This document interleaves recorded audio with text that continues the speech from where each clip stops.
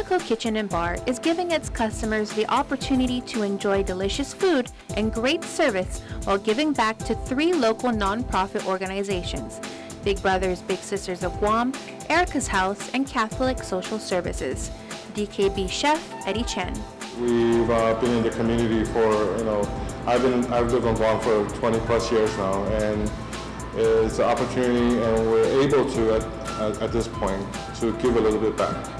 So we figure it would be a fun way as well to, to kind of come up with a program that involves the guests uh, in selecting the, the three charities that we've chosen.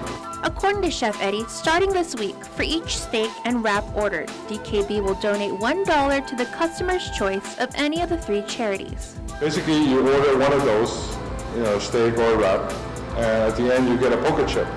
They're valued at a dollar, and basically that you, as a guest, will get to choose which of the charity of that, that we've chosen are closer to you, you know, your your heart or your preference and you, you make a donation there. DKB recently completed their Burger 365 campaign, in which they whipped out a new burger every day for one year. A portion of the last 30 burgers was given to Big Brothers Big Sisters of Guam.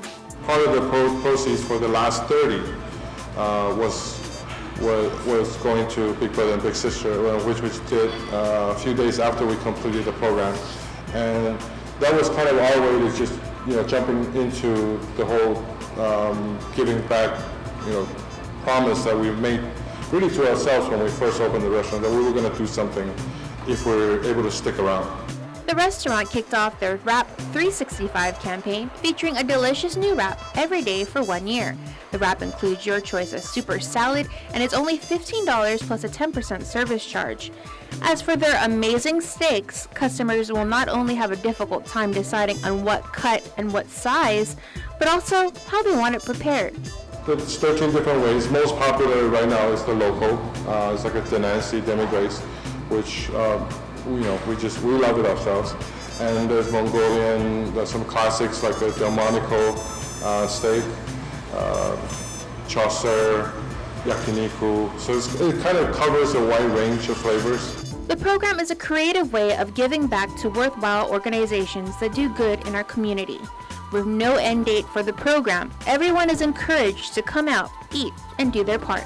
Obviously, the more customer we have, the more we're going to generate, and the more benefits will be to, to the charities. And you know, we just like people to, you know, to come enjoy our meal first, and knowing that part of it goes to a good cause.